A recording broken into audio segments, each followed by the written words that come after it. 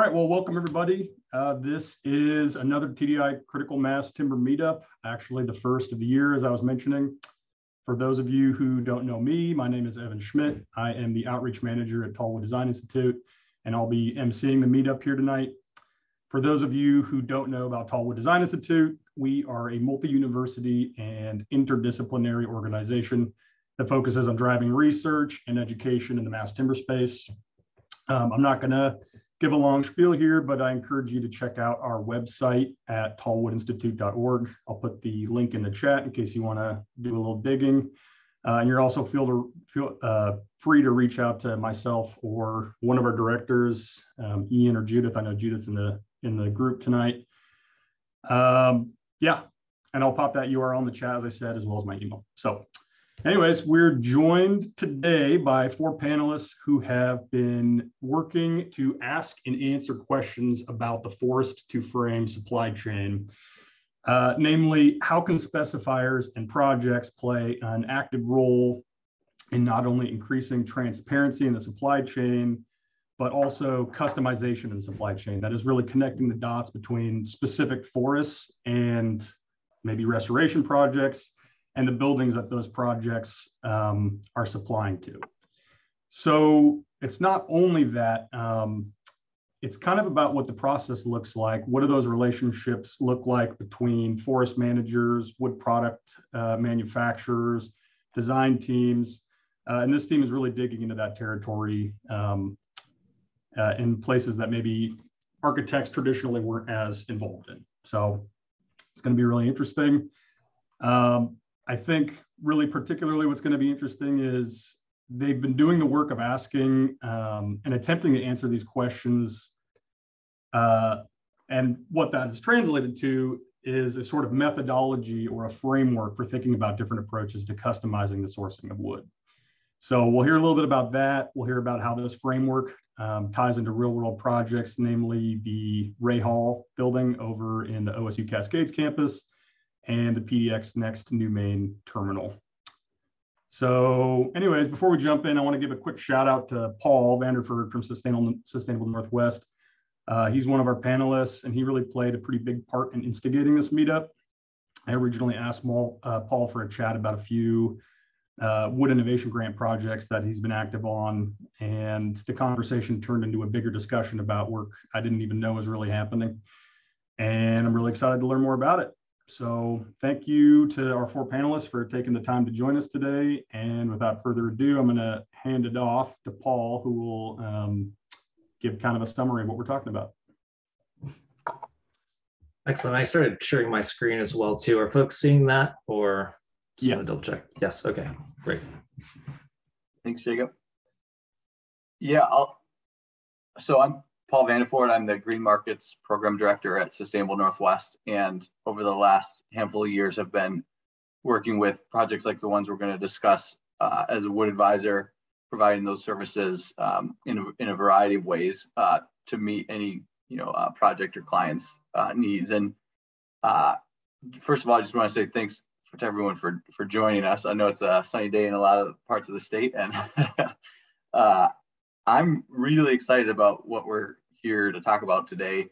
I, you know, Swinnerton, ZGF, and SRG partners are as businesses, and then Erica and Jacob and Scott, specifically as individuals, are doing some really innovative work. And I don't know anyone who's going deeper on these topics than than uh, the folks who have uh, agreed to join join us today on this panel. So thank you for joining us. For uh, obviously the individuals will um, be introducing themselves here, but to kind of just give a umbrella beyond what has been shared already, you know, we are certainly seeing a growing interest in connecting the built environment to the people and the forests that produce the fiber that goes into those projects.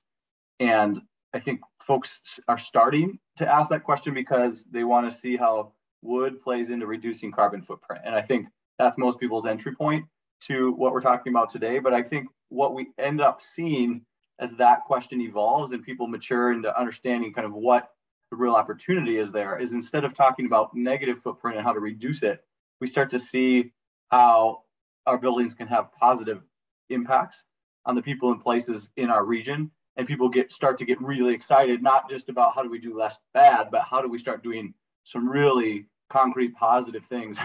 concrete is maybe not the right word here, but uh, you know, how do we have impacts around conservation, community, and inequity in some instances? And, and so what we're going to talk about today really is a deep dive on the pathways that projects have taken to build that relationship and some of the nuances that the different pathways represent so that people can start seeing some of the successes people are having and potentially be inspired to do it uh, on projects you're moving forward or at least being aware of, of what some of the projects that are really you know uh, taking this by the horns in terms of what what we're starting to see now three years into some of these uh, processes. So uh, I know I'm taking a lot of space here, but hopefully that gives an overview as well as an introduction to to um, to myself. Um, Erica, would you like to go next? Sure. Um, thank you so much for inviting me to be part of this panel. Really uh, honored to be uh, sharing the stage with Jacob, Paul, and Scott. Um, my name is Erica Spiritos. I'm the Vice President and Director of Pre-Construction for Timberlab, which is Swinnerton's mass timber company. Um, we're working on a lot of really exciting projects here locally in the region and also across the country, uh, delivering holistic mass timber systems um, that, that speak to some of these questions that Paul's uh, just described.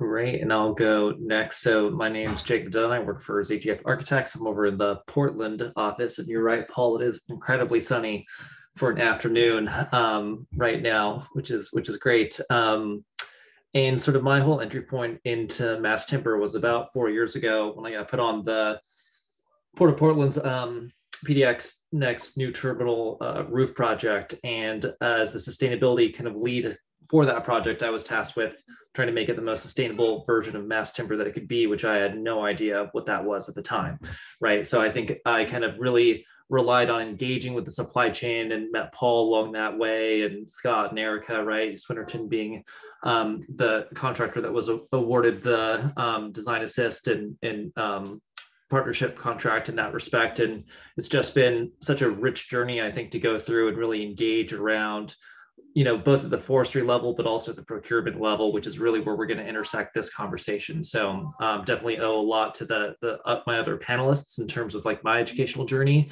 and a lot of the folks that are on this call too. So really um, stoked to be here kind of speaking about what we're able to accomplish.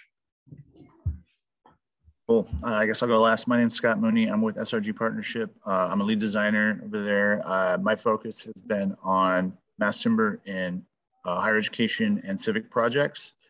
Um, and I was extremely excited to work with Paul on a deep dive case study into our most recent uh, master project, which is OSU Cascades uh, Ray Hall. And uh, so without further ado, let's get right to it. Awesome. So I think we'll just start by setting a baseline understanding of what the wood supply chain looks like for a mass timber building, because there are several degrees of separation um, from the forest to the construction site. Um, and maybe it'd be helpful to just lay that out. So we start with the trees and the forest, and those are harvested in a variety of different ways according to all sorts of different practices by a diverse group of landowner types as well. So those timberlands are managed by public um, entities, they're managed by small family landowners, they're managed by um, tribal, um, indigenous communities, and by large, you know, industrial corporations as well. Um, so from the forest, the, you know, the, the trees are harvested, logs are taken to a sawmill uh, to be cut into dimensional lumber, um, often planed and kiln dried. And then from there, uh, taken to a manufacturer, also called a laminator, sometimes called a fabricator, but I think it's helpful to distinguish between manufacturing and fabrication.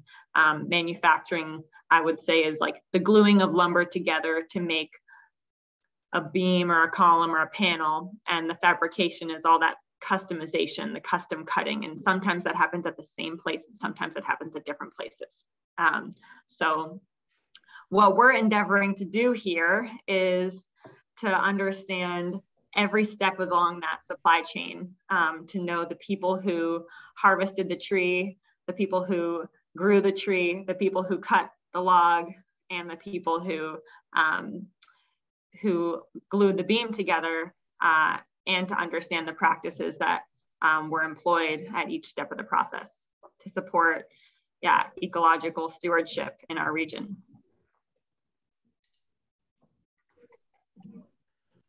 All right, I think this is my slide. Oh no, this isn't my slide. This is Paul's slide. Where's Jake's? I think it's yours. Uh, nope, this is this is your Scott. Oh, this is me. Okay, great. so why is it important? Why does this stuff matter? Um, well, and this is, uh, you know, why we're all kind of, I think, interested in wood. One of the main reasons we're interested in wood is really it, it, it connects to communities in ways that you can't get with other structural systems in terms of just directly you know, understanding the people in the forest that produces the wood products for our building. It's inherently regional. Uh, it, you know, builds understanding potential to elevate the community conversation, conservation equity opportunities that align with our clients and values. And that's the kind of critical piece of the work that I think Sustainable Northwest has been helping us connect with directly. Um, and, you know, certifications, they exist and they're a tool um, but they don't necessarily go as deep as we need to go to really kind of understand some of the sourcing questions that we're trying to break down. Um, so this is trying to go deeper than just certification. Um, and then, you know, it can differentiate mass timber products from the Pacific Northwest and US at large from international markets um, that can typically produce products uh, due to the maturity of the timber industry. And so we're just trying to kind of keep it local and go as deep locally as we can to really wrap our head around the opportunities in the Pacific Northwest around sourcing from our region. Great. And I actually just want to jump in here um, and mention one other thing that sort of is um, becoming more and more critical to some of our projects that are in the early development stage in our conversations with developers and funding resources. There's this trend going on, the sort of greening of the capital investment market, to where a lot of developers or funders have ESG goals that they come to us with. And they say, How are you going to help us meet our environmental, social, uh, goals and you know we have a sort of a framework but in general you have to pitch to us how you're dealing with like social equity or how you're dealing with economic impact in underserved communities or how you're dealing with carbon scope one, two, and three emissions. The people that are funding projects now that have to raise capital are asking us these questions, which is really heartening.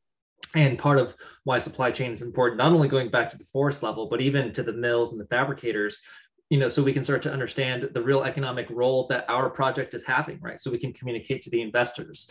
So we can say that like we bought this much from this glue laminator and that provided this many community jobs, right? That is part of what we have submitted as part of, you know, meeting those goals. So it's interesting that the capital market is starting to engage in this question as well. And in civic and public work, being able to tie those stories to the actual communities that you're serving is really powerful. Absolutely. Mm-hmm. Um, quick question. Can folks see my cursor as well? I just want to know. Does anybody yeah. see a mouse? Yep, excellent. A thumbs up for Paul. It disappears if I don't don't move it. But anyway, so my slide is the key challenges, right? And I think we could all speak speak to any one of these slides, right? Which is why it's sort of confusing who's who is talking to what. But in terms of some of the key challenges that you'll hear us sort of illuminate as we go through the specific pathways of transparency by project, um, these are some of the high level takeaways, right? And probably the biggest challenge to all this is there's no one size fits all approach. We've tried it, right? We're like, okay, if we just do these three things, we can achieve transparency on a project. It's like, oh, if we could just write the perfect architectural specification, like everything would fall in line. It's like, no, absolutely not, right? We actually need to define a process of engaging and collaborating um, our team structures and with the supply chain to determine what's possible and what's feasible, right? Because it's really context driven, very dependent on who you're talking to. So that's the first one. The second one, you know, mass timber versus lumber supply chains, as Erica mentioned before, um, with that process, all those different layers make it more and more difficult or adds complexity to trying to track an origin, right? A lot of, of times we get this either aptly or inevitably compared to, um, you know, farm to table, where that supply chain is like this big, right? Farm to table or to restaurant, right? Versus like the mass timber supply chain is much bigger, especially when we're talking about lamstock and engineered wood, wood products. So that's a challenge. Um, and then also the kind of lack of consistent ask from the design community, right? You know, we have these notions of, you know, if we were all able to make this ask more consistently, it would show that there's this demand side pool that our clients are asking us, right? That we're actually, you know, having an impact on the market to be able to know where wood comes from. I think that'll happen, but the question is how fast will it happen, depending upon how organized we can be, which I think, Evan, thank you so much. And Paul, for organizing stuff like this, because this plays a big role in that, that shift as well. Um, requiring additional time and planning up front. I mean, that's a pretty pretty big one, right? If we're trying, depending upon which level of transparency we're we're talking about, like there's different uh, amounts of lead times that are associated with it when you have to start thinking about it. It's generally, you know, spoiler, much earlier than you would think, right? And sometimes that works for projects, and sometimes it doesn't. Um, and that sort of like goes in with the the next bullet some pathways require a lot more effort than others, right? Depending upon that context, depending on the size of the mill, the size of your project, what product types it is, what species it is, what region, all those things, you know, can play into whether it's viable or not viable. Um, and then kind of the last two are similar in terms of, you know, we know we're dealing in an industry where profit margins are razor thin, right? So asking the supply chain to do anything out of the ordinary or to be any less efficient really impacts their bottom line. So we have to be sensitive and respectful to the fact that you know we have to find the economic case for doing this. That's the only way it's going to be scalable. Um, and of course inertia is probably the strongest you know physical force that, that i've encountered as a sustainability lead in just trying to get someone to do anything different regardless of whether it's a good or bad idea. Is just really difficult in general.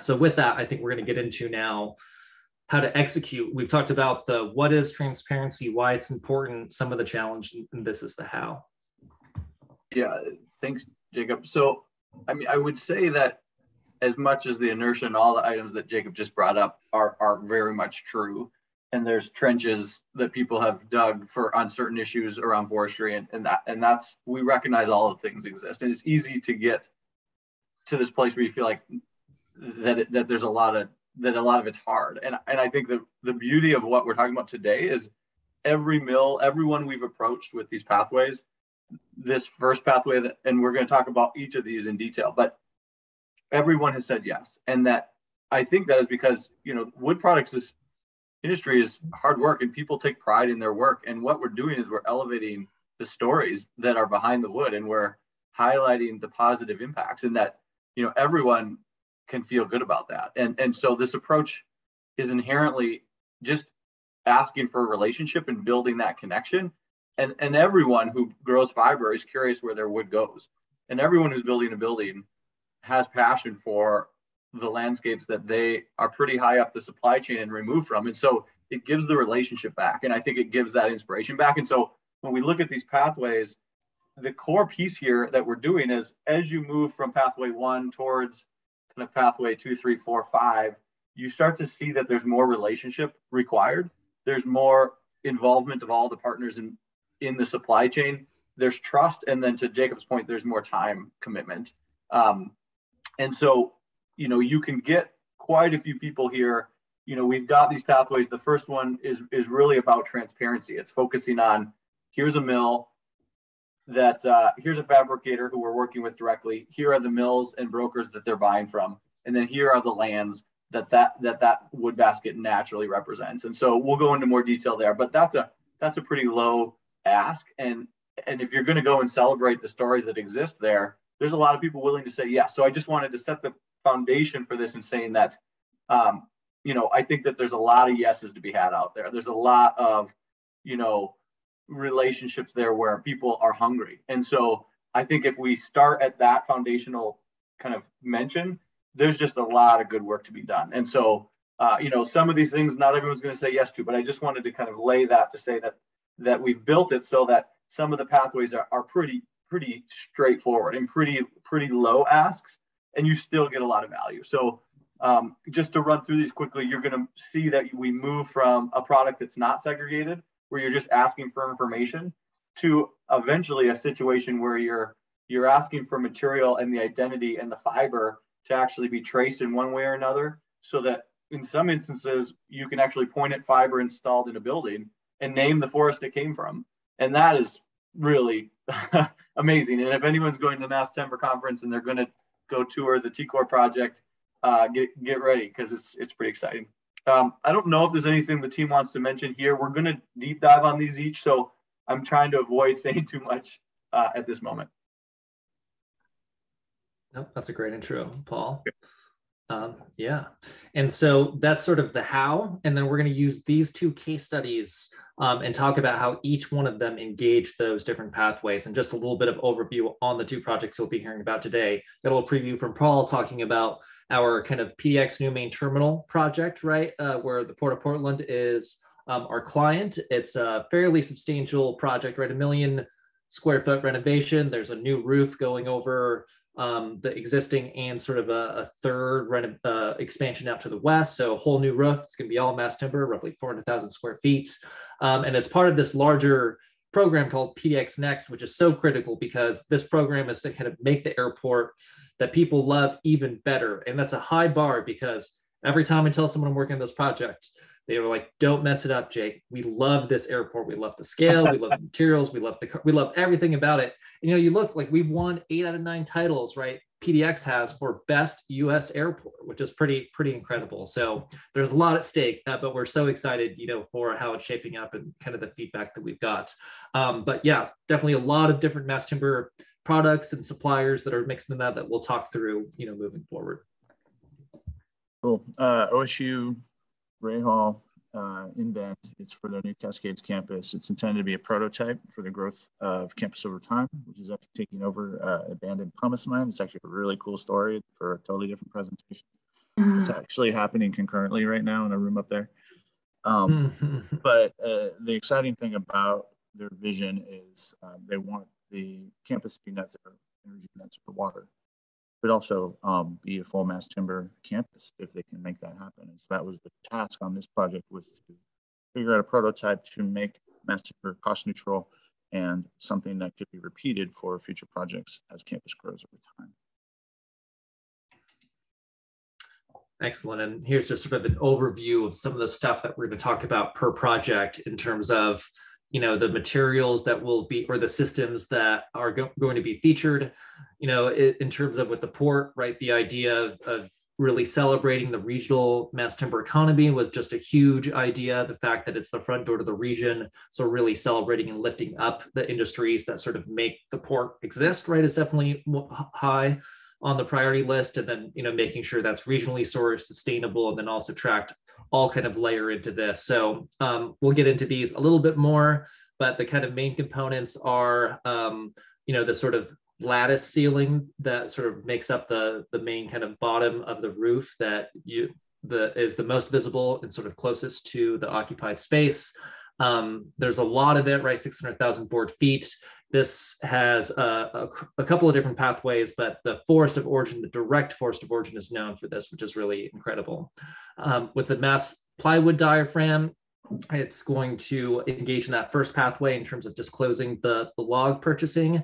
Um, and then, of course, it's a new innovative product, uh, homegrown, right, in Oregon, that was a perfect fit for the roof in the way that we had to layer a diaphragm over this vaulted roof. It was solved a lot of technical challenges. Um, and then, of course, the glulam beams, which we'll talk about. There's 400 of these 80 foot wide glulam beams, primarily um, manufactured by Zip-O and then also a little bit by Calvert. And this has like three different pathways involved in it because there's so much there that we'll get into um, as well.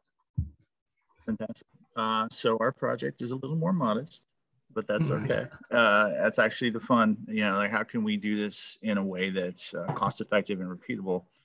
Um, and so we're representing three different pathways within our project. One that was in the specialty fabrication, uh, one that is involved in the glulams for the columns and beams, and then the third being the cedar siding that we're using. And so a lot of this was kind of retroactively trying to understand some of the sourcing content that we're going to share today. Uh, I think the small mill direct sourcing, we knew how to do that on the outset and be intentional around the sourcing for that scope. But for the actual mass timber components, um, that's where we really wanted to kind of unpack the process. And that's where we work for Sustainable Northwest. Excellent. So now jumping into each pathway. So I just want to say that I did not draw these. Jacob is way better at drawing these diagrams. And I just have a, I want to say thanks to Jacob for doing these. Uh, so as you can see here, there's just kind of an example of four different forests. A lot of mills are going to have more than four forests they're sourcing from, but just to get an idea of, of, of this pathway really just showing here are the forests that during the production cycle or relevant period of time uh, that, that the logs that came into the facility and you know here's the commingled log deck, no segregation. Here's logs pulled uh, and and here's product that came out the other side that obviously represents a mix of different grades and and and product lines and the ones that were relevant to the project being pulled and, and shipped to the project the way that a, a normal uh, mill operation would would be doing business. And so there's really no change here other than the mill says yes i recognize that the fabricator bought fiber from me and i've committed to the project that i'm i'm willing to share this pie chart of where i got my product.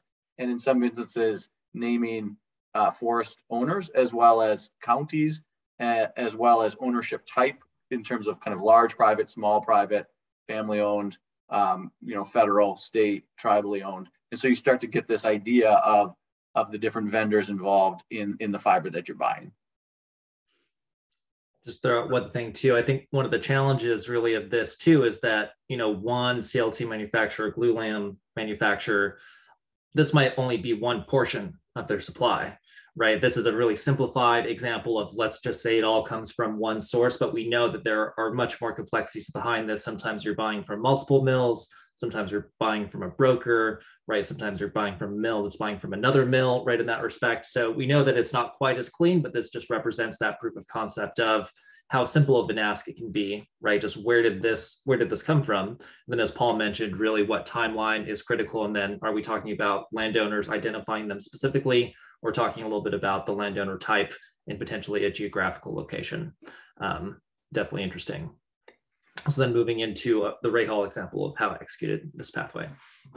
Yeah, so um, this is something that we worked really closely with Paul on to um, really connect the dots between some of the forest restoration projects that in the Colville National Forest that Sustainable Northwest has been um, intimately involved in facilitating and seeing the quantity of logs from those forest restoration projects, which are active thinning projects for wildfire mitigation, forest health.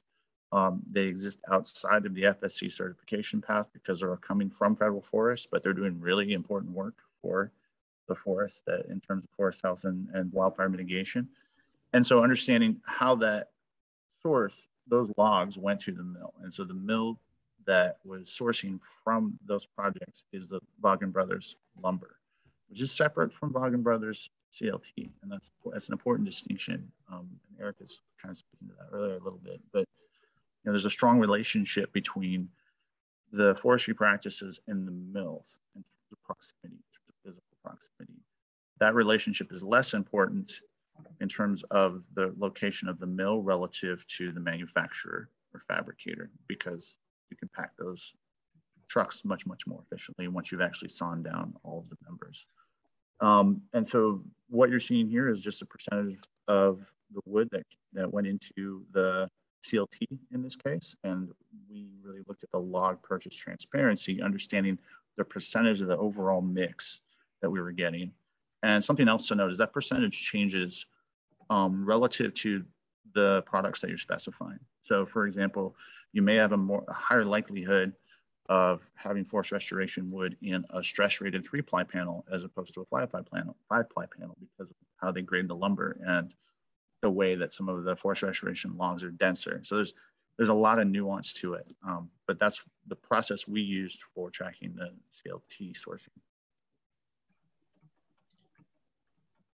Great. And then on the other side of the spectrum, um, this is just a diagram that sort of shows a little bit about the glulam um, extent, right? In terms of like what does 2 million board feet of two by look like?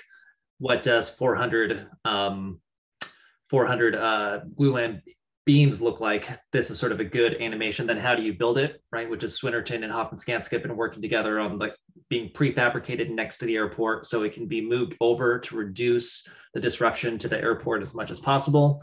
Um, but this is just a good overview of the scale of that, that project. And here's just a construction photo of what these curved glulams look like. You said two by eight um, lam stock, 2 million board feet. They're an 80 foot span from girder to girder. They're roughly four feet deep in the middle and they kind of get to six feet deep as they come into the, the different girders. Um, that's just a little bit of the overview. And now in terms of the sourcing, this chart sort of talks a little bit about the glulam's and the, the lattice. The lattice we'll talk about later, just didn't separate it for, the, for this particular presentation. But for instance, you know, when we look at 2 million board feet in the um, in the glulam's, when we look at where did that come from, right? There's a certain amount of it was unsegregated. So we used an FSC claim from a sustainability standpoint. Um, but this started to engage in that log purchasing uh, transparency and made this a while ago. Back in the day, we're calling it mill input reporting, but we like log uh, reporting transparency. It's all so new, right? This is all stuff that we're trying to figure out ways to standardize an approach, as Scott had mentioned, so we can make this more replicable in general. Um, but so a uh, big portion of this, you know, the pathway one was attempting, and then there was a certain portion that we were able to do direct sourcing, which we'll get into down the road. Um, in terms of where that came from, in this case, there were sort of two main sources for lam stock. Frank Lumber provided a lion's share, I think roughly 1.3 million board feet for, for this piece, and Zip-O around uh, 350K. And uh, Zip-O provided that log purchasing transparency, right? So we asked Zip-O, okay, during this, the production run when you were pulling lam stock, you know, what was your log deck composition for that production period? And they came back with this pie chart that was like, okay, here's who we sourced from during that time. So ostensibly, this is where our wood was coming from, right? Or could have came from, if you know, because it's all sort of blended and mixed up. And we can start to look at there's two different mills right there purchasing some private, right? There's the OSU research forests, which is pretty cool, right? Anytime we're sort of supporting these university kind of research educational forests, it's sort of an interesting story.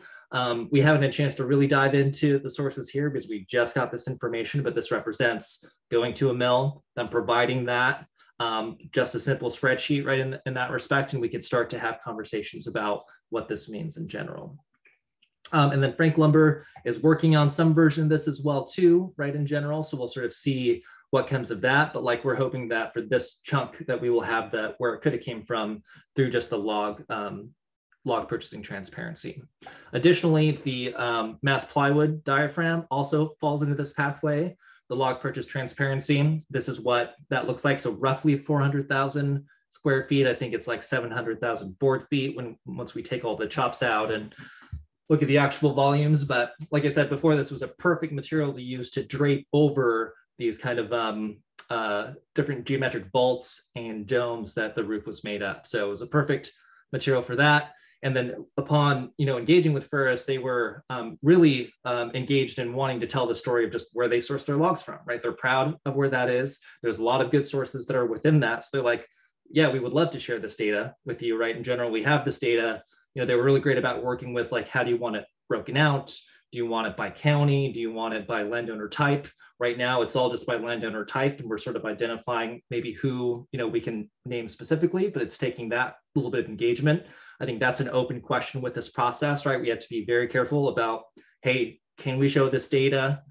Are the landowners okay with showing the data? They do, do they want to be linked to this project? Like the kind of question of disclosure is something that we all need to work on and also uh, standardize as we move through this. So we're just generally super careful.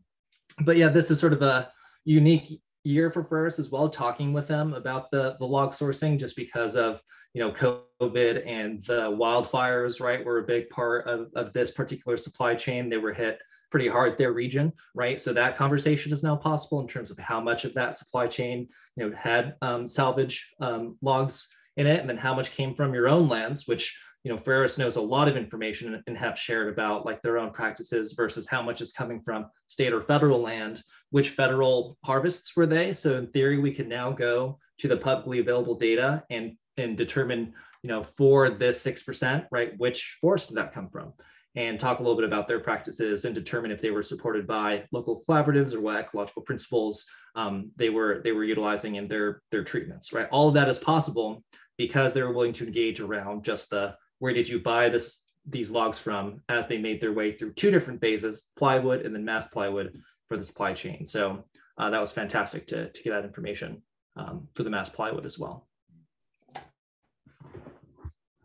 Yeah, thanks for those um, overviews. Uh, so I'll share with you just some lessons learned and some opportunities for scalability from contractor or builder's perspective. Um, as Paul mentioned earlier, Pathway One really is meant to be this baseline that should be achievable for all projects, um, but it is still uh, new. It's still new, and so there, you know, it's always helpful when embarking on new endeavors or initiatives to have trusting relationships with the people that you're working with, especially in an industry that is so rooted in um, just their their their their ways their ways of operating. And many of these mills are you know family run businesses that have been um, doing their thing for generations and are used to kind of plugging away at their own um, in you know in their according to their own processes and even even asking for a little bit of transparency with a request to share their log sources might be perceived um, at, might might be you know challenging to some people. Um, i think one one kind of interesting tidbit there is that uh, often these these mills are competing against each other for the logs right? And so and when a when a timber sale goes up you know out for a bid um, a number of these mills come together, you know, come kind of converge on that opportunity and one mill wins out and um, sometimes there's an opportunity to maybe avoid a timber sale altogether with a relationship between a, a landowner and a, and a mill. Um, and then you kind of avoid that. You circumvent that that auction process. Um, but you know, it's almost like giving away a secret recipe, I imagine. Like there might be some reluctance on behalf of the mill to share like to share the secret recipe because um, the like the logs the raw ingredients for their product right? And for many of the mills they're really focused on quality especially lam stock mills. It's quality over volume and the log is what you know just like can't make a good tomato sauce without a good tomato right? Um, to use that farm to table analogy. So, so I'll just leave you with that. But I do think there is opportunity to scale this. I think we can specify that laminators provide this data as a submittal during the procurement phase. Um, but I, I do just want to encourage everyone to to go, you know, meet meet the mills um, and and develop those relationships. Yeah, I want to throw out one challenge with this too is that even though, like, in theory, it can be replicated right with just the right specification um, that's sort of in in line right with the product type um, and potentially a reporting template, it still has to change a lot of hands, and the intent has to get communicated pretty well, right? In terms of we wrote a spec for t core right? We had to give that spec to Hoffman Skanska. Hoffman Skanska had to then communicate that spec to Swinerton, although we were all in the same meeting, right, because of the collaborative process. But in theory, right, it would go downstream to Swinerton. Swinerton would then have to give that to a fabricator, and the fabricator would then have to communicate that to the mills, right, in the sources. So there's like four steps there that if we have a spec and a reporting template, that intent has to get communicated all the way down the chain without it scaring one any off for bidding, right? So like that's a challenge too. So like that's why this process of engagement you know having more of a collaborative integrated team having paul there right to help facilitate those conversations um, is fantastic right because it allows everyone to get on board but in terms of the scalability i think that's one challenge but there should be a fairly you know easy pathway to try to make this more replicable yeah, and maybe I'll just add the relationship comes from like in person, you know, just time together. Like Paul and I went down to Frank Lumber and we sat with them for a while, and you know, it took it took it took some time to get them comfortable with sharing this information. It wasn't, you know, and I remember them saying like, "You're really lucky. I can't believe they're giving you." you know, so just a little bit of that. Um, yep. Well, Paul, did you want to mention something here? I'm just aware of the timing, and I think some of the stuff we're still trying to cover moving forward is probably equally as important as. Uh, so this yeah. the second pathway here is is recognizing that there are some mills that naturally are aligned where the where a large volume of their fiber comes from one forest. Um, there's a couple different scenarios where that plays out, but when you have a mill that's connected to a forest that your client uh, you know wants to engage with, then this this pathway becomes kind of additive to the to the first concept, which is you're approaching a mill. They're not necessarily segregating something out, but they naturally have a product coming from a particular forest that you're interested in.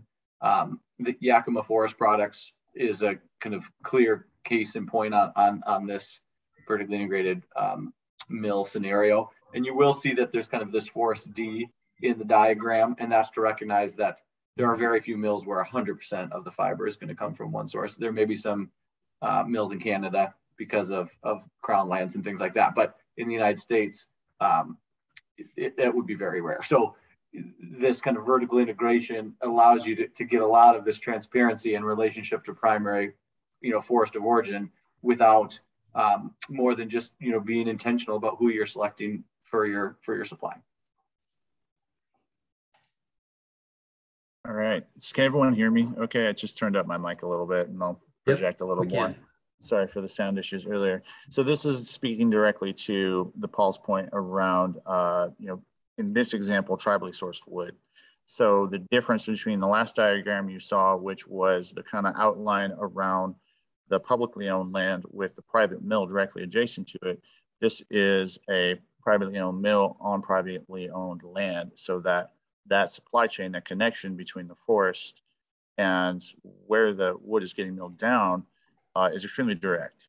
And so that means that in terms of the basket, in terms of what percentage of that mix is coming from that land, it's a lot easier to pin down than it is when you have these private mills that have purchases that come from all over the place. Um, and you know something else to note is Zip-O, who oh you can go to the next one. Uh, Zip-O, who laminated uh, the beams and columns for this project, is not very close to the um, kind of you know the source, I guess you could say. Uh, it's it's not like the Vaagen CLT plant, which is next door to the Vaagen Mill. Uh, you know, Zip-O's in Eugene, Yakima is all the way up in kind of south central Washington. And so this is where, you know, depending on the component and the fabricator, um, you might be able to think a little further afield in terms of if you're trying to target particular forests or sources for the wood you're using uh, on the manufacturer side. uh, one other quick note here too, you know, with um, Zip-O, I think both with this project, definitely with um, TCORE, is that they understood sort of the criteria some of the sourcing goals from the port, and they were definitely fantastic to work with in terms of like, okay, yeah, well, we'll call these sources then and be on, be aware of sort of their harvest schedules and like when we should be calling these folks to see if we can get more of their product into your project, right? So, I mean, they were fantastic in terms of like being part of the, the process understanding mm-hmm. that criteria and helping us identify opportunities based upon like in our case wanting to incorporate as much tribal wood into the project as possible which is a common criteria right that we're seeing in general. And and so that just speaks to the importance of having these conversations as early as humanly possible because then you're trying to sync your construction schedule with the cycles of harvest from these different forest stands. Yeah. Mm-hmm. And i think you know to some degree we got lucky as well because we were doing all of this right for the first time you know similarly i think with ray hall right and like we we landed into some like decent harvest windows that worked. Question is like is there a way that we can like increase that percentage more if we could plan for it right? And if there was a way to to better understand harvest schedules and be able to dial that up a little bit it's sort of an interesting question moving forward. Um, one speaking of interesting questions moving forward, I want to just do a time check. Evan, we have till 5.30, right? Paul's comment really scared me. Yeah, or do we yeah, have no, you got till 5.30. Okay. okay, good. Yeah, and we're going to try to leave lots of time at the end for discussion, but yeah, just wanted to make sure that we that we do indeed have that. We are on path two of six, though, so there's definitely more more pathways coming. Um, so we had a very similar um, process with utilizing Zip-O for the glulam beams and then having there be a certain mix of wood um, from from Yakima uh, Nation as well. And in this case, we also ended up um, being able to work with Swinerton to be able to do that direct segregation uh, for a component that Paul mentioned, to where there are certain beams that we can look up. So it's not a blend, but there are certain beams we can point up to and say that this came from the Yakima mill. And for us, that's these um, kind of uh, ridge beams that are in these skylights that kind of crown the giant steel Y columns, you know, throughout the airport. There's like 32 of these right? And then on each one of those um, columns, there's this giant, you know, skylight, and then it has wood framing on the top, and you can see that beam, you know, when you're standing below, and you can point up and say that that came from from Yakima, and that was all just because we were able to have that vertically integrated story, and then Swinerton was able to integrate that into the production schedule to say, hey, we'll do all of Skylight A's during this time. Now that we have Yakima's wood, we'll make sure we segregate that into our process, make sure all of these ridge beams we can point up and say came from Yakama Nation, which was pretty interesting. It's also, um, you know, cool to note that like using tribal wood was a huge priority. You know, Yakima provided roughly 370,000 board feet to the project from their mill. They were the single largest landowner that contributed to any of the wood for both the the um, uh, glulam beams and then also the lattice. So roughly 15% of the glulam beams, which was which was great. But all right, lessons learned. Yeah, couple a couple lessons learned on on the vertically integrated approach, pathway two, as we're calling it. Um, so you know what we're talking about here is transparency and also you know customization or targeting certain ecologically progressive or, or just just forests that are doing good good good for the ecosystem. So um, transparency doesn't always imply ecological stewardship. Um, I think there is an overlap though. Um, and I just think it's important for people to, to be conscious that just because you know where the wood is coming from doesn't mean that it's coming from a place that would make us all proud. So it's still important to read forest management plans. Um, and then the next point is just still important to understand what percentage of the wood is coming from that vertically integrated source versus from an external source. Um, think this, this, you know, the option, the opportunities to scale this pathway uh, are tied to the number of vertically integrated you know, entities in, in the region, in the country, right? And not all um, operations are vertically integrated, although there are there are a few here, and and some of them are represented on this call. Um, Zip-O, I think I saw Mitch from Kolesnikov, um, and obviously Freres. Um, so, so yeah, I think there are opportunities, but if you are focused on this approach, you do limit your procurement flexibility to a degree. Um, and then also important to say that um, there are different degrees of vertical integration. So um, you could be integrated from the you know, laminator to the mill. You could be integrated from the laminator mill back to the forest or just the mill to the forest and then have a different laminator. Um, so all those are just nuances that we want to pay attention to.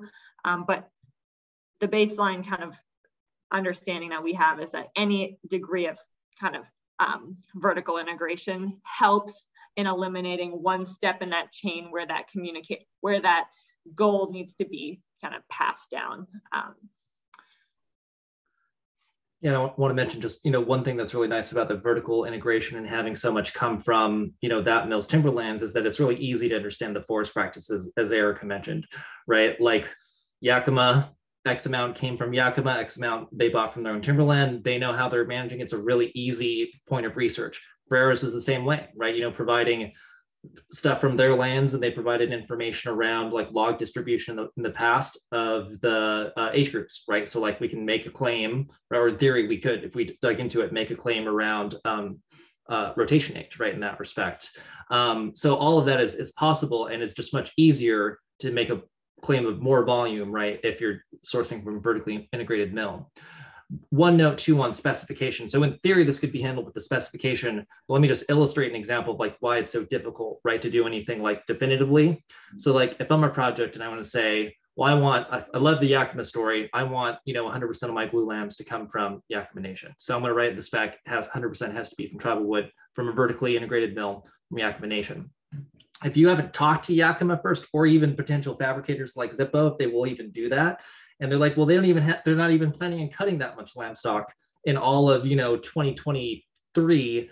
And even then, they're not going to give it all to one supplier, right? So that's why first it's worth it to understand the landscape of what is available to say it's like, well, maybe you know 25% might be something that's more reasonable and even then the way that we wrote it into our specifications were minimum thresholds so we're saying that at least x percent has to be from tribal entities that gives the fabricators and the contractors and the uh, mills a lot of flexibility in meeting those without you being overly prescriptive and forcing them into a corner that's not even realistic. That conversation is so critical in determining what's feasible. And, and I think that's the role that Paul and Sustainable Northwest can play is helping facilitate the sort of project goals with what actually can be achieved and helping connect the dots between and build those relationships. Like, you know, it'd be tough for us to cold call some of these folks without, you know, having Paul there as a facilitator, as that kind of link to those communities. I would add that for these early projects that are kind of leading on this, you know, there's instances where a client maybe resonates with a particular goal, like connecting to small family forest operators, but we don't know how much of that fiber is really getting into the supply chain that we're most interested in connecting to. And so there was work we did where we actually went and, you know, engaged 20, 30 small family forest operators to understand, you know, are you cutting this year? How much volume? What species and grade? Who do you sell to? So that we could get a handle of some of that as we went into the RFP process. So we weren't asking for more than we knew was was possible. Um, and we knew that the vendors that we were buying from were in the wood baskets of the people we were talking to. And so I, that that level of detail is, is probably not going to be needed indefinitely. But for some of these early projects, we really wanted to make sure we weren't asking for something that was not possible. Great point. So for um, this pathway, I think you start to see uh, segregation as, as a question. And, and I think the important piece here is to really just ask a mill where they're at and what they're willing to do. This isn't a, um, a question where somebody, I think you would run into a lot of trouble if you just started a conversation saying, we want you to segregate product for this project. But, but I think what you're seeing here is the, the kind of word temporal is, is to signify that that a, if a mill has a fiber source that resonates with your client and they have enough of a log deck that you know there's there's kind of a cost associated with building up a segregated log deck but that's a different cost than actually running a batch process and or skewing from a standard cutting um, window where you're just you know you're you're cutting what the market's paying the most for and what the log can can best create versus batching a product to skew towards something that that that that disproportionately produces a grade and a size that's for a particular project. And so what's meant by this slide is to say, you know, you, you this pathway is that you can work with mills to say, can you build up a log deck sufficient that you could run it for a window of time and then pull fiber that's coming at a, at a grade and a need for this project during that normal production window. And so there's more of a buy-in and more of a commitment from the mill in this situation but it's not asking for clearing the lines because obviously that's a very high cost for particularly high production mills. Um, and, and where you start to see more successes with some of these segregated products is when you have a cutting mill that maybe have, you know, mills like some of like what Zip-O's doing and what some of the beam providers are doing, where there's the, where they aren't going after that just kind of high volume commodity grade. You're going to start finding success when you're when you're trying to find products from from mills that have have more of that cutting focus. And so I know that's a slight nuance. You could probably find success across the board if you had the right relationship, but you start to see where there's some dead ends as you when you start moving towards segregation. I know that's that's kind of a, a, a non-starter for some operations. If only we had a diagram to communicate that difference, which we do. Spoiler preview that's coming up, but um, Absolutely. That's a great overview. We've got a question in the chat real quick um, from Joe Mayo. It's probably worth us keeping in mind as we talk about it. It's um, how much time is needed to find what supply is available in order to write an achievable specification? How early in the design process does this conversation need to start? Depends on the pathways, the short answer, but I'll let Paul answer that one for, let's talk about that first for um, maybe just well, I guess segregation is, is sort of when you'd want to target, right? So do you have a sense, Paul? You know, we've talked about rough rules of thumb. Yeah, I think, months. I think that the, depending on the region that you're sourcing from, some regions have organizations that are already serving certain land ownership classes. And so if you're in an area where somebody like Northwest Natural Resources Group exists or some of these other vendors who have, you know, hundreds of thousands of forests, there's hundreds of thousands of acres of forest land across hundreds of of landowners, then you can kind of go to one place and start pulling information. Uh, you know, I think that we don't want to do that across the market, kind of asking those questions all the time. But I think there are places you can go to ask that information and get it more quickly because they're acting as a middle person or a vendor that then helps to set up the, the harvest and the sales. And so they have a, a pretty good read across a large landscape.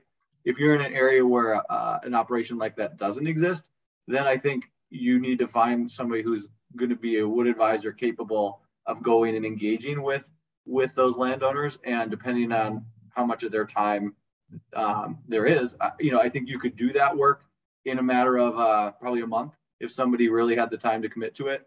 But you know putting the ask out and kind of socializing it so people understand why the heck you're asking the question in the first place. Um, you know and that goes back to relationship. If you have trust a lot of the details become less important and people are just willing to give you information. And if you're new to the area and you don't have that relationship you don't have the trust then that time frame is going to balloon. So i'd say somewhere between a month and probably six months great and uh, so we were able to achieve this particular pathway for uh, a couple of different products in the airport, which we're really excited about. The main one being the lattice, right? So going back to what I was talking about earlier, this is the ceiling product. It's a three by six timber, roughly 10 to 12 feet for the most part. Um, 100% of this can be traced back specifically to the, I think there are 10 different landowners that contributed to it. We know exactly what volumes they contributed because of segregation and then also path five, which we'll get to. Um, 100% was sustainably harvested at the source. So the source forest met our criteria for sustainability, which could be its own hour long presentation. 100% um, was also FSC certified. So we sort of used both claims in this case because this was such an important part of the story. Um, and then, yeah, the, the, traceability back to the origin was from um, Manke Lumber, and they were willing to do log deck segregation from sources that met our criteria. And then they were able to run that all at the same time and just pull the two by eight lam stock out at a reasonable pace, right? We didn't incur any penalty for, for batch processing, um, but it allowed us, you know, 500,000 board feet. This was done for timbers though, going back to one of those challenges, not lam stock, right? But this was for timbers. So it was a little bit more straightforward. But the fact that, you know, we got a medium, medium to large size mill, depending upon your scale to do segregation from sources to where they even targeted certain sources like Skokomish because they knew that was one of our, our criteria, I think is incredible. It represents sort of like one of the ways that this could go in the future and have it be replicable and scalable. So we have, you know, a lot to, to Manke Crew for figuring this out, for working with us and being engaged just like Zip-O was in terms of actually actively trying to meet that criteria. Um, makes sense, right? For the airport, for other projects, hopefully they would do it if it's easier, right? Which is why it's like this pathway is designed to try to like show that this is possible.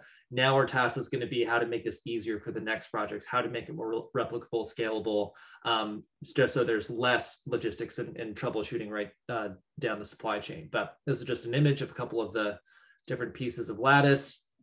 Here's how that works out, you know, as we're tracking it through um, you know, X amounts certified, X amount is direct sourced with um, sustainable sourcing at the, the piece.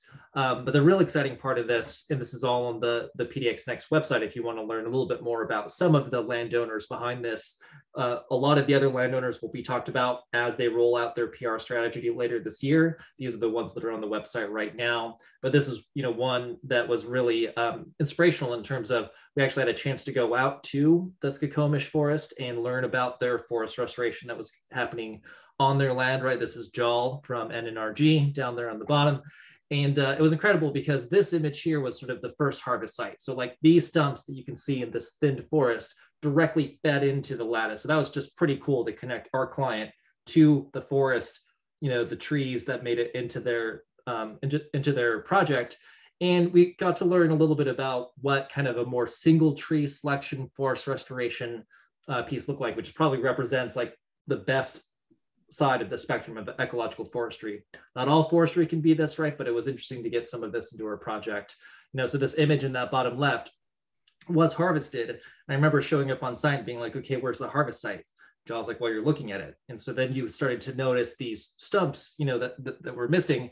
And these are skid trails that are like organically, you know, meandering through the forest to cut down on erosion. But this is as bad as it looks for the most part, right? So it was interesting to kind of experience that side of forestry in terms of like what that impact could look like um, in you know a tribal forest that's being managed for certain cultural and habitat values. Um, and we got to uh, interview Tom Strong on site, right, about what he wants the project to know about the Skokomish tribe and their kind of community connection and, you know how they kind of care for their intergenerational um, movements. I mean, it was just it was incredible. There's there's more on the website too to check out. Also, we went from the west side over to the east side, which was really interesting, to uh, one of the Nature Conservancy's forests out there in Cle Elum, where we got to learn firsthand about like reintroducing fire in the landscape and looking at a forest that was being restored, particularly for dry side um, wildfire resilience, and to kind of learn about the connection between that and kind of Rosslyn and, and a couple of the other rural you know towns that were out there and the kind of connection to a recreation economy that this was helping to support was just really incredible. Um, and then also got to learn too about just the differences between restoration on west side and east side forests. And so uh, i think you know one thing that's really great about this too is that we can link our project directly to something that's helping to mitigate forest fires, right? Which everyone hates, right? You know, especially you know connecting the the rural economies and the urban economies to be able to say that we are actively supporting forestry that is meant to reduce wildfire risk has been really positive um, reactions. We got to like talk to Herman about like why did he join TNC? He'd been a forester for two years and kind of getting the story of like what he does day to day and how he managed this pro this project was pretty incredible too. But okay, and then this is uh the challenges slide. Thanks. Um, yep. Yeah, I think uh, you know this this pathway feels a little bit um, like you're looking for just the right mill to me, um, and so it feels like maybe the least scalable, which is why you see the question mark there on the right. Um, so yes, given the luxury of time, a large mill that is you know amenable to the cause and you know uh, on board with the cause can can collect targeted logs um, collect the lumber on the back end uh, without needing to run a separate process and you know the the mill that supported this effort Manke um, feels like a, hidden gem to me um, in some ways and so you know I say that because when I speak to some of the primary manufacturers and laminators in the region, I didn't hear any of them really say they were sourcing lam stock from Manke. And so while Manke is willing to make lam stock, they're not um, they're not one of the mills that's contributing to the mass timber um, projects that we're working on. Um, so the lattice was, you know, a separate a separate thing, uh, and it's possible that in the future this this is scalable, um, but uh, and maybe maybe um, Jacob, you have or Paul, you have some additional thoughts on this pathway. But I do think that this this feels like um, kind of this feels like a hidden gem that is it's worth asking all the mills because typically because theoretically doing this temporal process batch processing is less of a heavy lift or less disruptive to a mill's you know overall kind of production line than the batch processing at one time. Um, yeah, I, I, think it depends, right? It's such a new ask that most people are going to be like, "Why would I do this?" Right? So it's you know going back to the process of engagement, and then certain mills are set. It's intensive too. I mean, because you're asking yeah. them to keep material on their site for a long time. Absolutely. And, and some mills are set up to do this better than others, going back to the point of like figuring out which scales of mills or who's willing to do what. That was Paul's point, right? And then also the, the size of the ask too. So, you know, is it how much board footage? Is it, um, are they already set up to do, like some bills do more segregated decks than others in general too. So it's a lot of, of that engagement early on, but without like the understanding of the why, which in this case was really to optimize the sourcing or to be able to you know um, help target some of these um, tribal sources like that we were trying to go after right there's not really much reason to do it other than to kind of have that particular story. But it is is new and uh, definitely for livestock, it's more challenging. So I think that's a big question mark moving forward is how replicable can this particular pathway be specifically for uh, engineered wood products? Excellent. Paul or Scott, any thoughts on this before we uh, I think your comment about it being challenging for engineered wood products is a good segue to the next one. Yeah. Excellent. There we go. So Paul, you already covered this, so I'm just going to kind of pass over it just so we can try to get to more discussion. Um, but as Paul mentioned, right, either you segregate and then you pull products slowly over time, or you have to do a custom cutter batch run, which sort of makes it, takes it to a whole new level of intensity. And it's interesting because that's what happened um, with us, right, in terms of one of our kind of product pathways um, with Zip-O. And so with Zip-O, similarly, you know, they understood the kind of desire to have tribal sourcing in the project, and then specifically for Oregon tribal sourcing, as you can imagine. Um, in this case. So Coquille was one of the, the targets that we had done some research on. We knew they had harvests that were coming up to be a part of this. So we were like, can we make that happen? And um, at some point, it was incredible because this was the plan, was that we would go out, we would um, either get a direct sale or we ended up having to do uh, go uh, the harvest had to go out to timber auction because of um, some changes to their uh, overall procurement structure, which I'll get into in a minute. Um, so we had to go out, bid on the project. Hopefully, we're going to win it, and then you know this would go to Zip-O log mill, and it was going to be such a large amount of wood is that it was going to be pretty easy to segregate the log deck, and then Zip-O would just pull out the lam stock slowly over time and use those for some of the lamps in the project, right? That was going to be path of sort of low resistance. I'm not going to say least resistance, right? But it seemed feasible, right? Enough to where that was the original plan. Um, so as I mentioned, it was so much like fun, honestly, to go out with Zip-O. You know, we went on a timber cruise with them. We went met with, uh, you know, Coquille um, tribal leaders.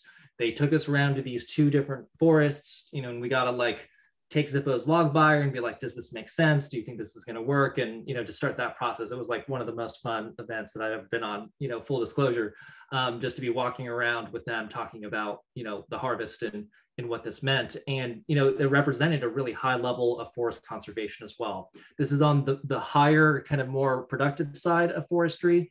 Uh, but in this case, it's still really ecologically focused. It's like a 40 acre opening 15% retention, which is really high for that size of opening. They're FSC certified, right? So it comes with you know a whole bunch of other types of ecological stewardship aspects of that.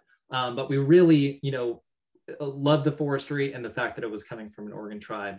Um, and then also they were the first federally recognized forest to, to undergo um, a program through um, the, the US to get more sovereignty in terms of how they control and manage their lands. And this was the first harvest that was part of that new structure. It's one reason why they had to go out to bid as well too. But just so much wrapped up into this one forest, stewardship, targeting, right? You know, equity. It, it was incredible.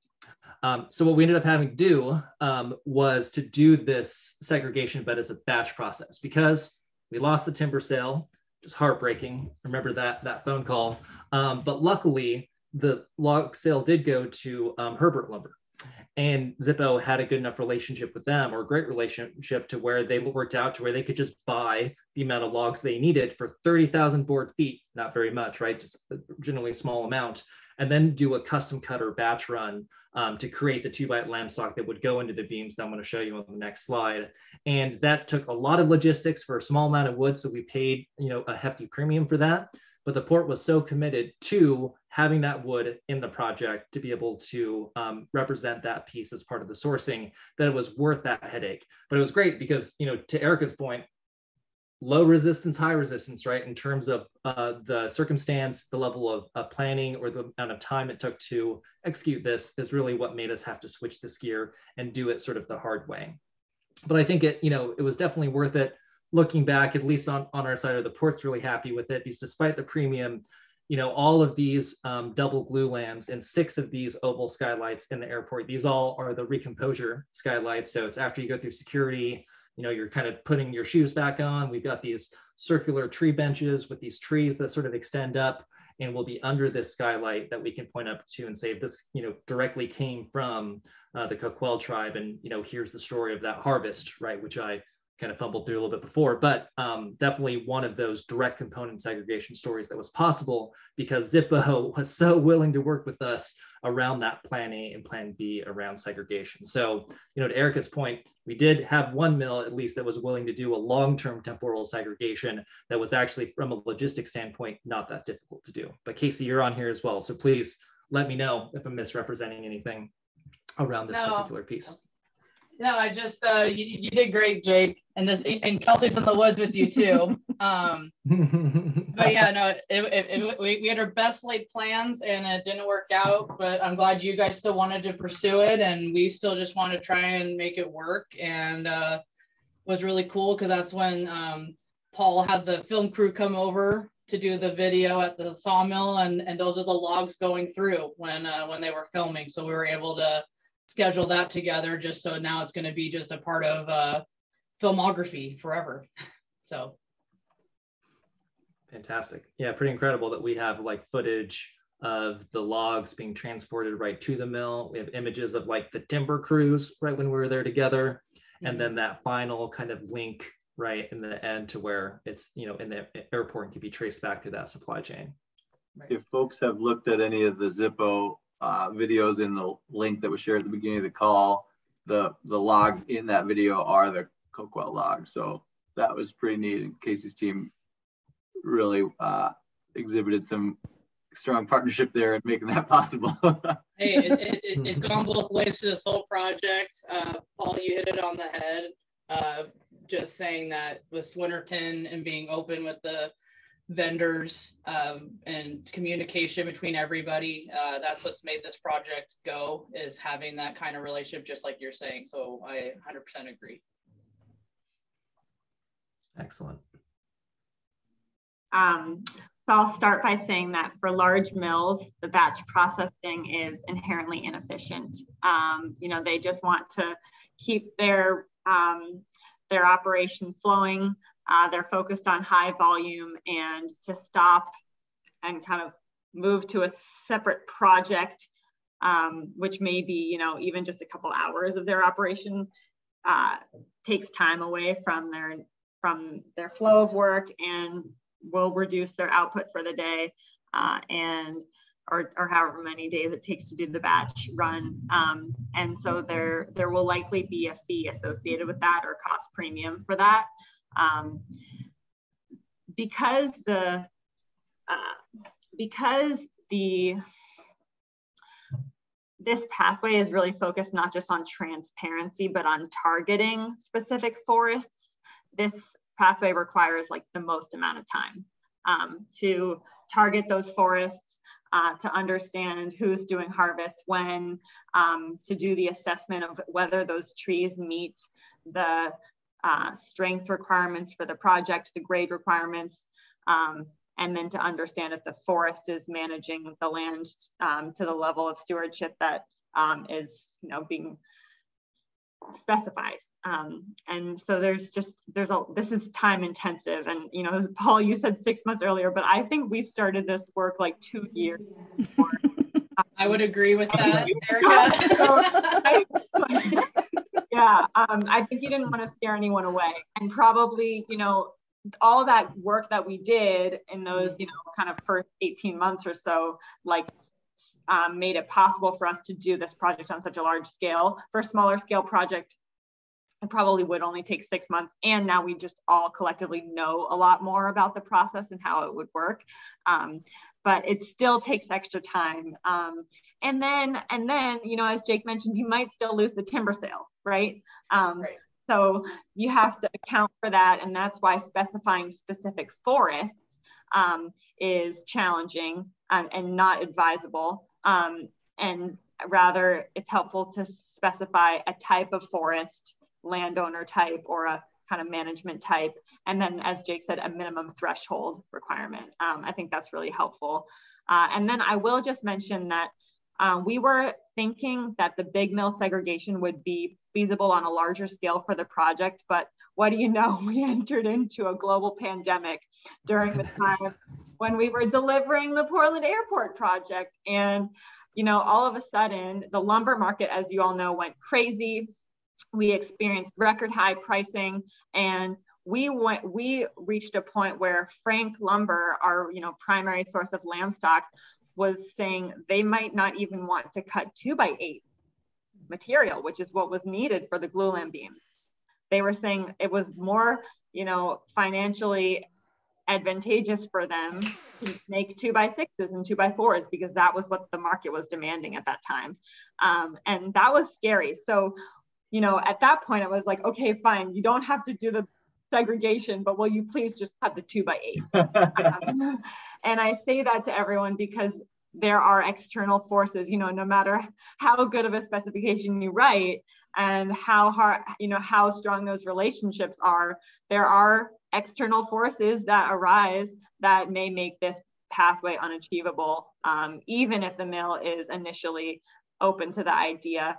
Um, and Paul, it took a lot of socializing with Frank and some, yeah. you know, to, to get them even open to this. So, um, yeah. So I just, I give that as a little bit of a cautionary kind of, um, you know, tale there. Uh, so I think for those reasons, this is the least scalable option um, at least until I say transparency becomes more mainstream. And I think I'm looking at the comments and Lek, you're, you know, totally nail on the head. Like, yeah, we need to create greater demand for this kind of transparency.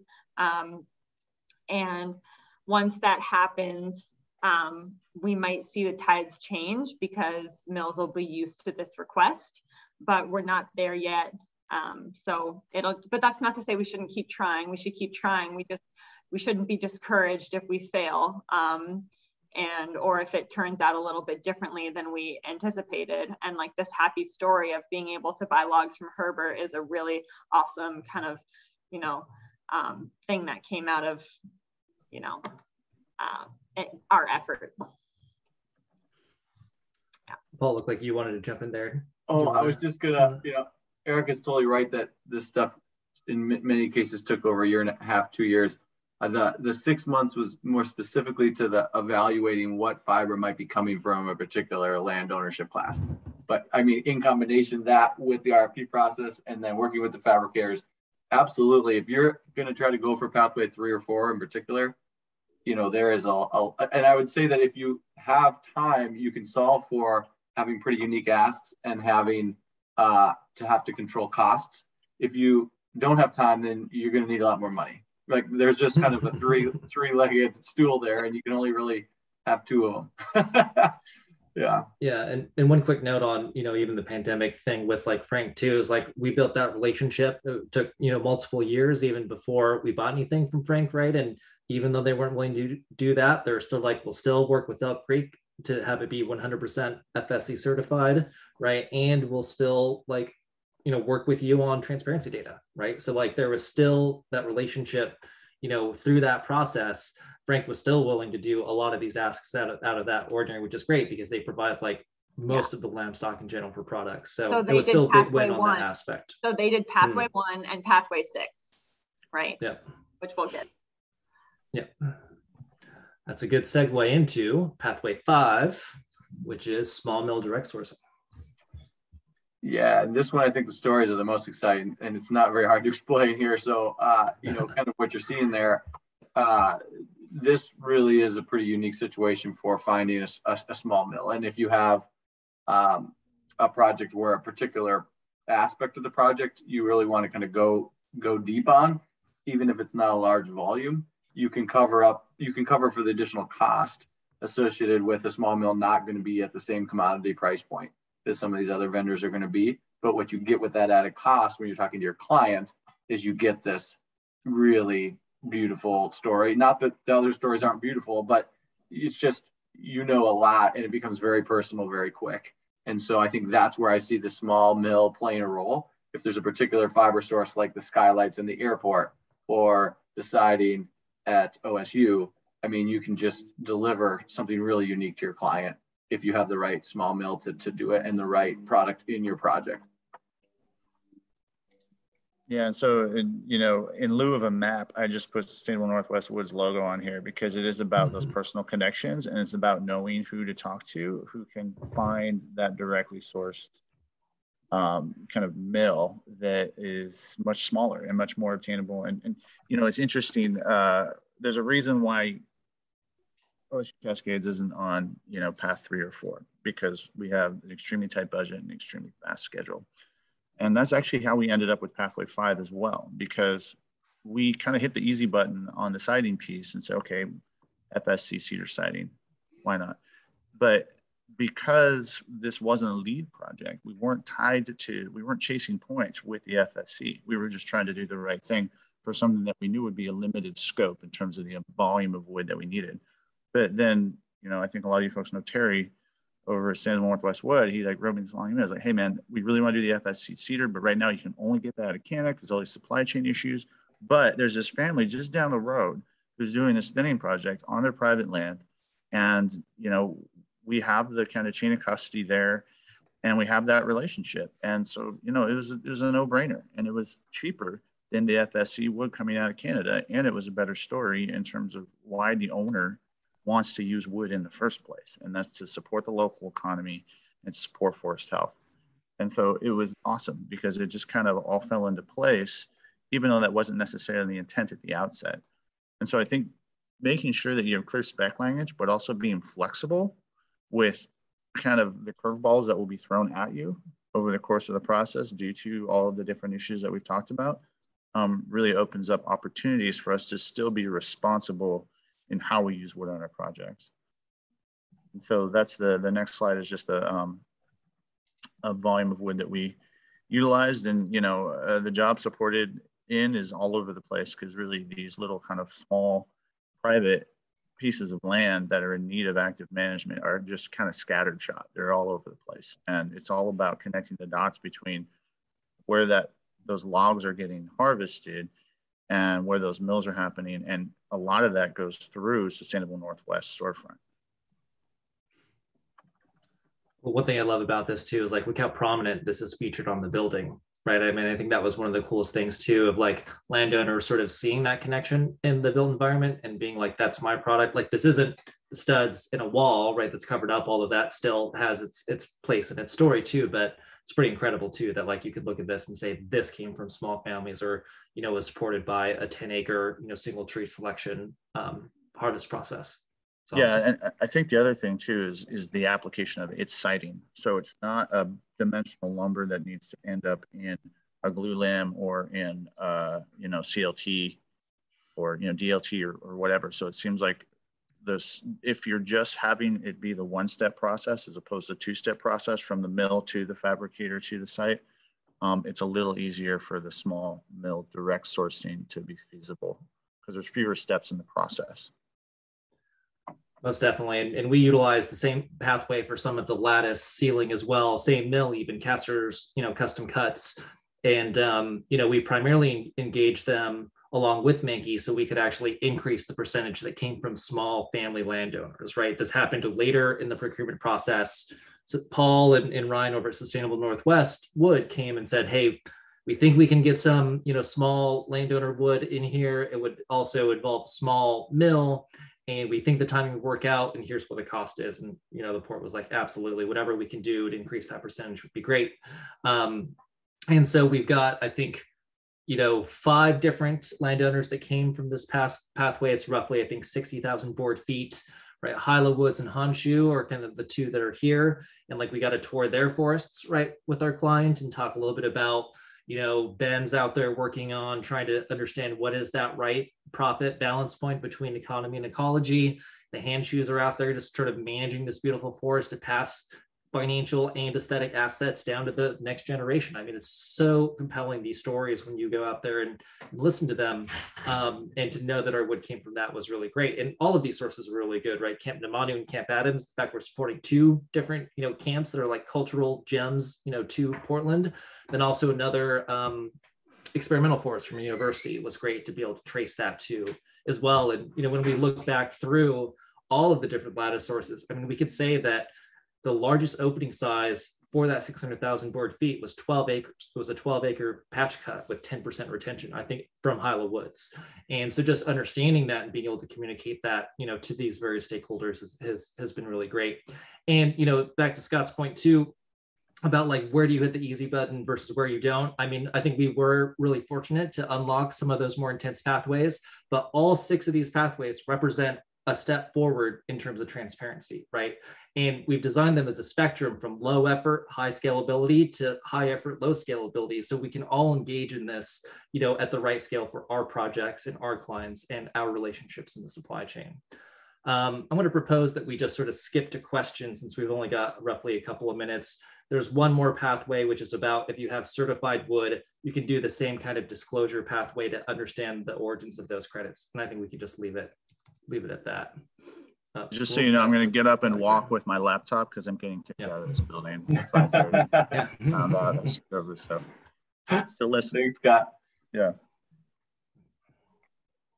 Awesome. Thank you guys. That was amazing. Um, usually we wrap up around 5.30, but as long as you guys are willing to stay and answer questions, then we can hang out as long as, uh, as you're feeling comfortable. So I'm sure there are questions out there and I'll just open it up to the, to the general audience here. You can just ask directly or raise your hand if you like.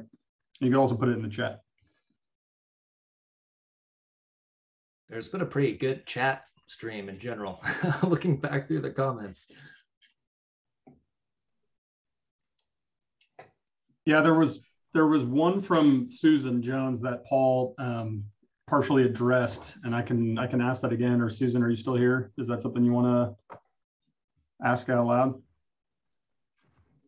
I am here, um, but uh, yeah, it's I mean it's kind of a personal thing because we have a family forest, and so I should just talk to to um, too directly. I don't want to take, take your time, but I mean, it's it's really this has been a really moving conversation because um, I really I think the work that you guys have all done in the last few months. I missed the beginning, so I missed a little bit of context, and I know Jacob, your involvement on the on the on the airport has been key on this. But there has been a process that you've all gotten involved with, and I really am sorry I missed how that all how this all started. I got the six pathways, but um, whoever organized this, maybe it's Sustainable Northwest, um, really hats off, and TallWood Institute, hats off to all of you for, for partaking in this because this is the kind of transparency that we're all just crying out for. And um, thank you all for, for really getting some data points and some clarity uh, about the prescriptive issues. And um, it's just so gratifying to see that we're going beyond and deeper and more thoughtfully you know, than just the FSC uh, dialogues that we've had often in the past. It's just, I really appreciate this conversation a lot. Thanks. for the comments? Thanks, Susan. Susan.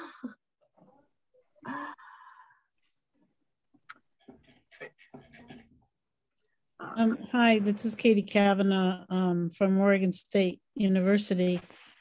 Um, this has been really enlightening, and I appreciate um, this discussion we've been having we're looking at um, developing kind of a climate smart pathway for the wood coming off the Elliott State Research Forest, both in a practical context and in a research context.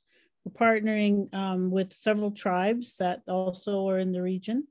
And, and I have a couple questions. Um, one of them has to do with the price differential in wood that goes through these different paths because the, one of the other paths that was implied but really wasn't discussed was sourcing using innovative forest harvesting techniques. So whether it's single tree selection versus clear cutting, um, short rotations, short rotations versus long rotations, all those incur a fairly hefty cost to the producer relative to business as usual.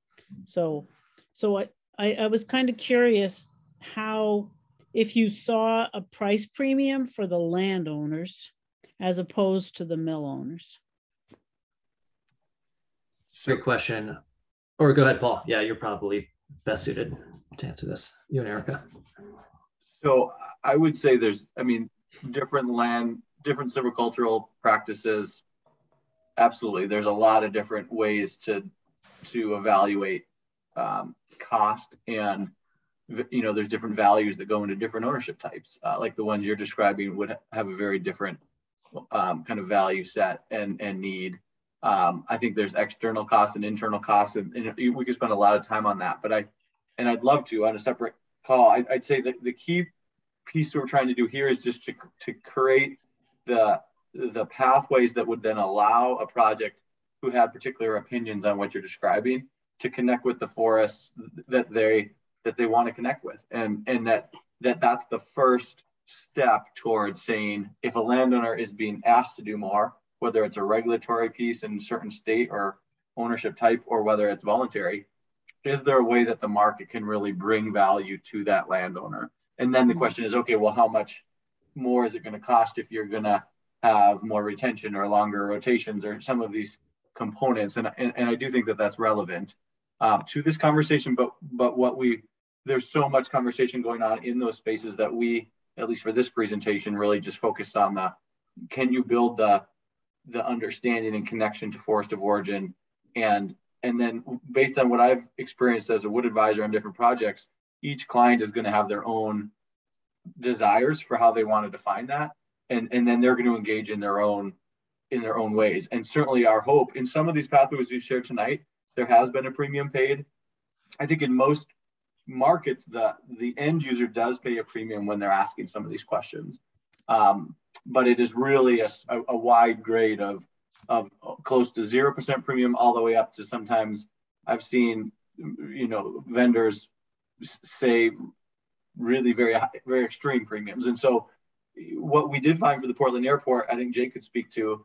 Um, but I think when you when you have flexibility and when you're moving towards pathway one or two, I think you start moving towards a premium that's pretty reasonable.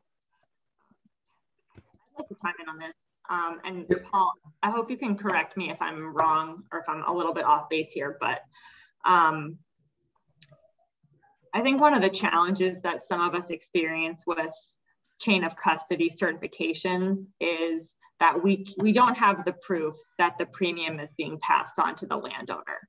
Um, and that landowner is the one who's really making the sacrifice, as you're alluding to, um, by choosing to harvest less or choosing to harvest later um, or choosing to harvest differently in a less kind of economically intensive way. Um, and we don't know if they're benefiting or if they're, you know, if they're being, if they're being rewarded for that um, decision. And uh, so what's interesting about these other pathways that we're exploring, and you'll notice none of them are targeting industrial forestry. Um, like some of the, you know, these landowners are motivated for by different have different motivations right they have different value propositions and they're not beholden to um, you know a board of directors or you know they're not focused on bottom line profit and so they're managing different ways um, and i think um, there's just you know this question of how much is enough. And that's something that struck me when we visited. Uh, that's something that struck me when we visited the Woods project. It's like, um, and I can't remember Ben's dad's, but Ben, Ben Peter. Hayes, was it Peter?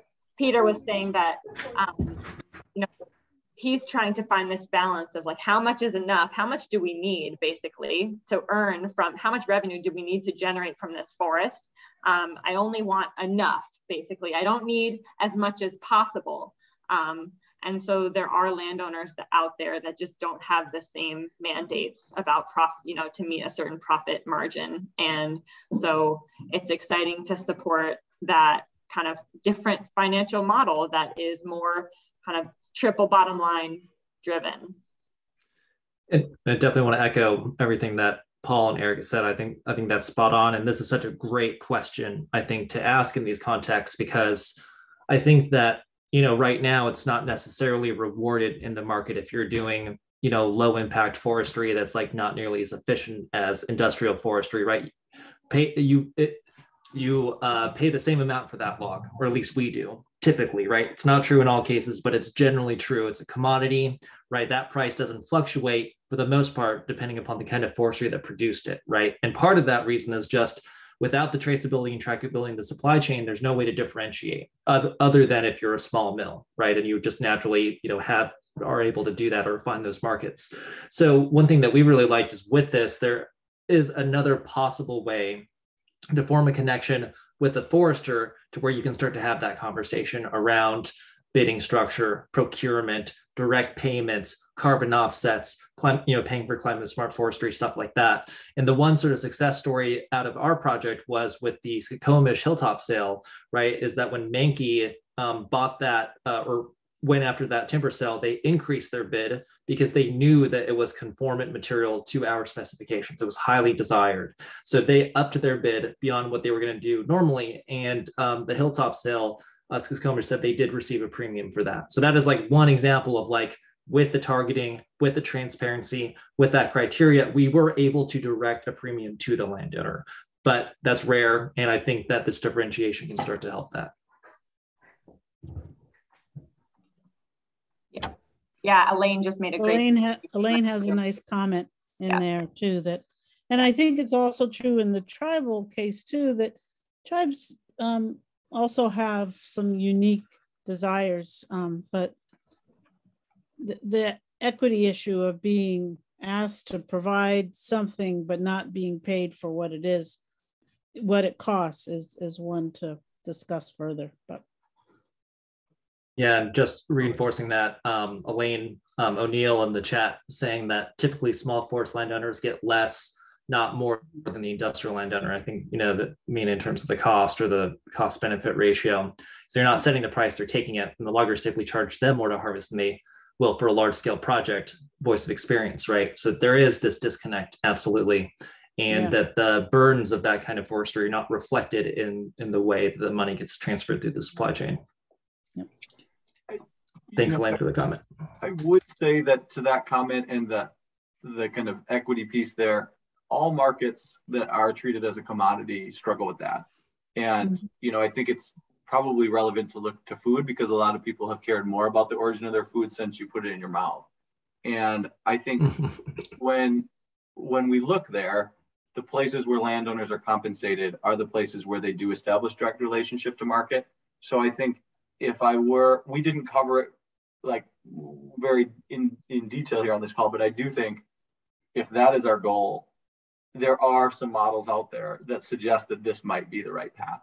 And and I think we're we're just beginning. And what Jacob mentioned in terms of a premium being paid directly to a landowner, those are pretty um, you know, unique scenarios. But I think if we can if we build this and we build the transparency, the relationships will be there to continue to find success. And, and that is certainly my hope.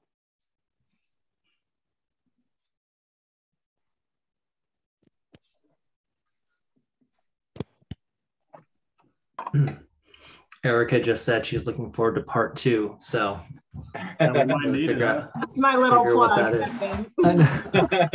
what is part two? That's the question. I guess maybe uh, since we're getting a little bit towards the late side, we can just wrap up with uh, a question, which is, yeah, what are the next steps? Is there a part two or I don't know.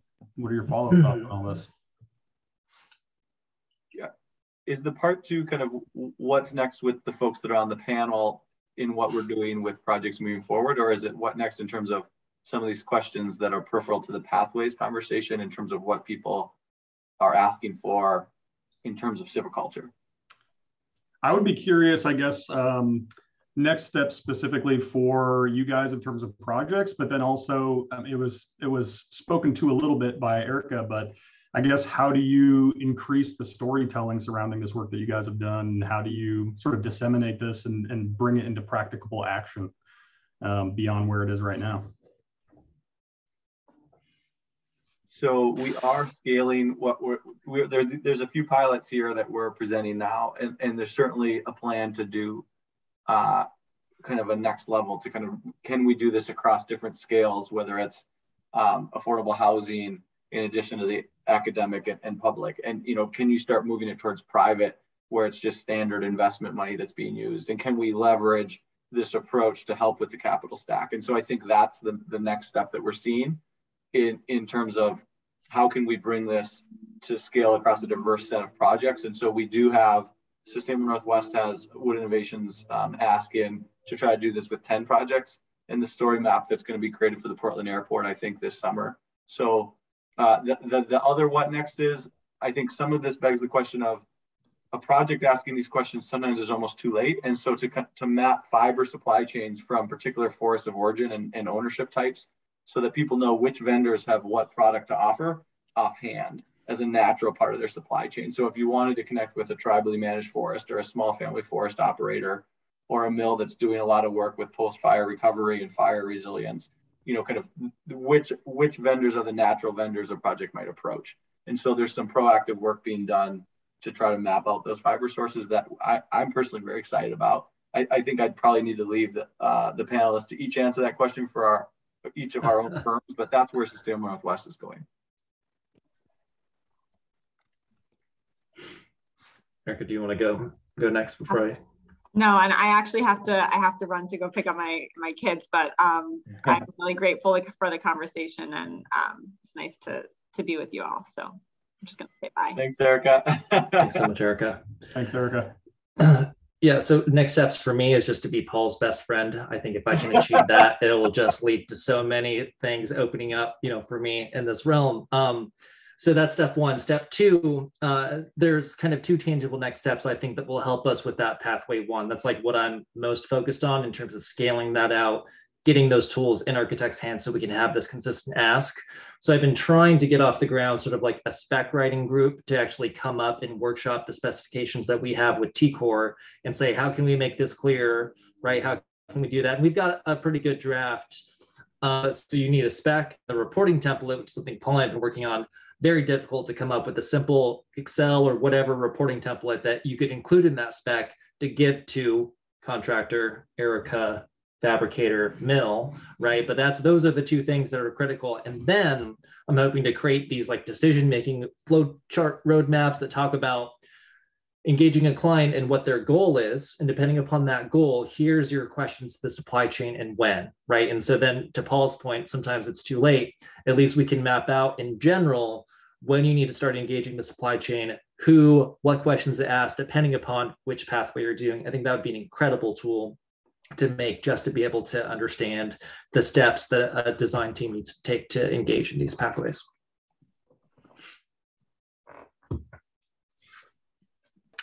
Uh, I have a question. This is Timothy Cook from Auber Architecture. I think this this presentation and discussion has been incredibly insightful, and I would love to advocate for this recording to be available publicly. Um, I think there's a, an incredible amount of valuable information that's been shared today. Yeah, we'll uh, we'll publish this as long as all the presenters are fine with it. I usually follow up after the fact and verify that we can put it up on uh, online. So um, we'll put the we'll put the link up. You can find us on YouTube. Excellent. Yeah, email us and I'll check in with our you know PR folks and make sure everything's good, or if there's any redactions that need to be done. But yeah, I think it, it would be great too. Um, absolutely. Jake, was there something I remember you mentioning that ZGF I think was putting out like a carbon playbook? Is that something that's true and you want to mention, or is that another for another time?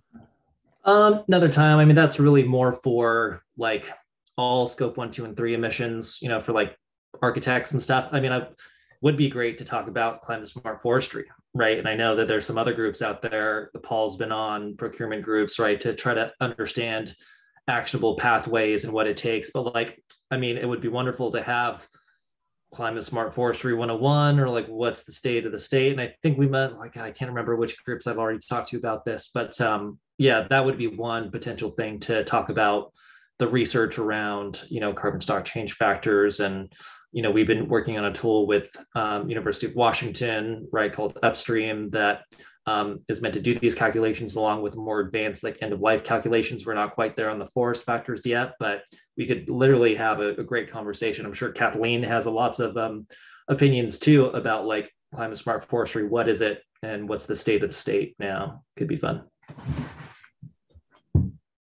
Sure. Well, it seems like there's a lot of follow-ups. Um, I think maybe we should call it so everybody can go home and eat dinner, or if you're already home, then just eat dinner or whatever. Um, so thank you guys so much for taking the time to do this. This was really, really interesting, engaging. Uh, I feel like everybody here was really thankful to hear from you and learned a lot. So um, no, thanks for having us.